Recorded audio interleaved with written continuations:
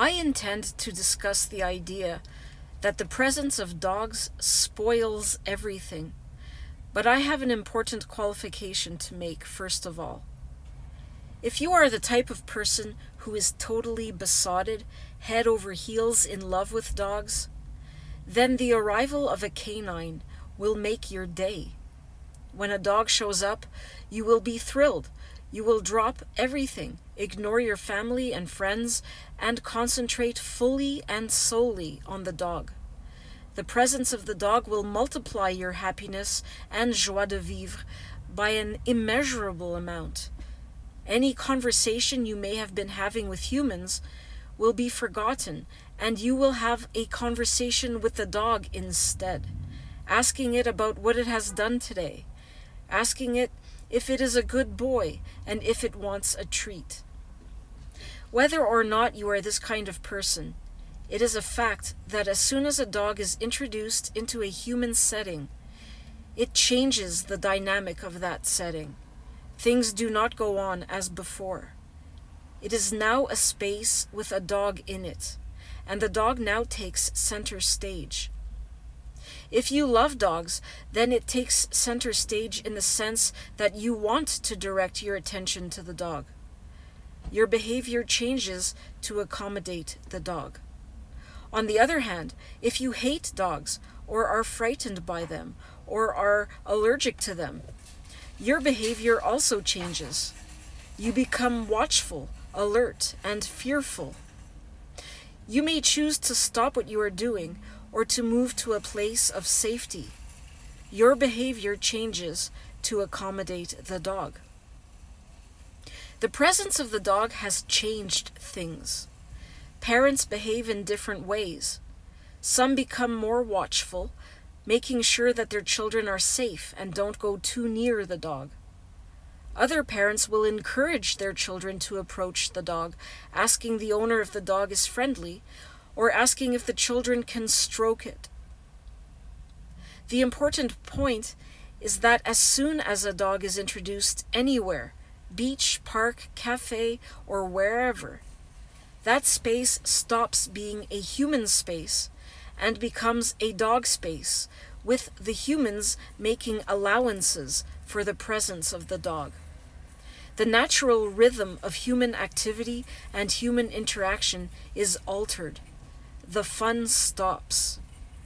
As the charity Dogs Trust points out, as adults, it is our responsibility to keep our young people safe by teaching them how to behave safely around dogs. This recognizes that dogs are dangerous, but it also implicitly recognizes that the presence of dogs changes the behavior of humans. Children have to behave in certain ways around dogs to keep themselves safe. The presence of the dog determines the behavior of the children. Blue Cross for Pets makes the observation that children should learn to behave carefully around a dog and to adapt their temperament to the dog, not the other way around. This type of advice would never need to be given if these same organizations would stop encouraging their members and followers to take dogs everywhere where children are to be found. The advice would also be unnecessary if such organizations would stop providing confusing, mixed messages about dogs to children. Children are told that dogs are friendly, supportive, and protective, but also that they have to behave carefully around dogs, otherwise, they may be attacked. If children got the one message that dogs are dangerous, then they would avoid them just as they avoid all other dangerous animals. I have produced a number of videos looking at the harm caused to children by dogs and how children are expected to change and limit their behavior to accommodate dogs. I looked at the belief that dogs are equal to children in my videos Your Dog is Not Your Son, Daughter, Boy, or Girl, dogs are not comparable to children, and pro dog equals anti child. My videos, dog nearly rips child's face off, adults carry on as if nothing happened, and Bridger Walker is a hero, but where is the outrage? Looked at the casual disregard for the safety of children around dogs. Keeping a dog is a hobby, like many thousands of other activities, but it is a hobby like no other. It is the only hobby that demands society changes to allow them to practice their hobby. It is the only hobby in which the pursuit of the hobby takes precedence over all other human activity. It is the only dangerous hobby that insists in bringing the danger to the public and expecting the public to keep themselves safe. There are a number of hobbies that involve danger to self and others, but the participants are expected to take responsibility to ensure safety. Imagine a crossbow enthusiast bringing their weapon to a public park or a busy beach, then expecting the public to stay out of the way of the bolts. Imagine a swordsmith bringing his forge into a cafe or restaurant and expecting the public to adjust their behaving to suit his hobby. Both of these examples would be seen as ridiculous and outrageous. But that's what dog owners do every day of the week. They impose their dangerous, smelly, and irritating hobby onto us and expect us not only to accommodate them, but to adjust our behavior to suit their interest. Many dog lovers watching this video will think that their dog has never been aggressive. One obvious answer to that is not yet. But dogs don't need to attack you to spoil your fun. Dogs are noisy. Imagine someone brought their trombone into a cafe and started playing it without asking permission.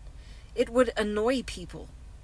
Barking annoys people, but dog barking in public places is so common that few people complain. The smell of dog does not fit in well with the enjoyment of food, nor does the staring, invasion of personal space, or begging. See my videos, Why We Hate Dogs and Dog Culture, Give and Let Live, and they expect us to put up with this. Whether your dog is aggressive or not, its mere presence impacts on human freedom. There's a website called Quora in which people pose questions which are then answered by other readers. A question area that has come up several times over the years is what to do when you get attacked by a dog when you are cycling. Dogs will get involved in every form of human leisure activity, and their involvement means that the cycling or running or whatever moves from being a human leisure activity to a dog based activity. I have looked at scores of answers about the cycling problem on Quora and elsewhere, and there is no definitive answer. Some advise trying to outdistance the dog. Others say that is impossible with a determined dog. Others say stop and stare it down, while others tell you to avoid eye contact. There are lots of suggestions which indicate that it is a common problem. One person answered with the suggestion that you carry some stones in your cycling jacket and throw them behind the dog to distract it. He was at pains to point out that you don't throw stones at dogs because that would be cruel. This apologetic approach is common among people who dare to criticize dogs. It's time we stopped apologizing. Just in case dog lovers resort to one of their favorite responses and claim that dogs never annoy people, here is a YouTube video that shows quite clearly that they do. It is time that we started to treat dog keepers by the same standards that we treat other animal hobbyists. No one else with an animal based hobby feels entitled to bring their hobby animal into human places. And if they did, I do not know of any other animal that is as intrusive as a dog. When we, as a society, start to ask why dog keepers get special privileges denied other hobbyists, then we can start to move towards a future that is dog free.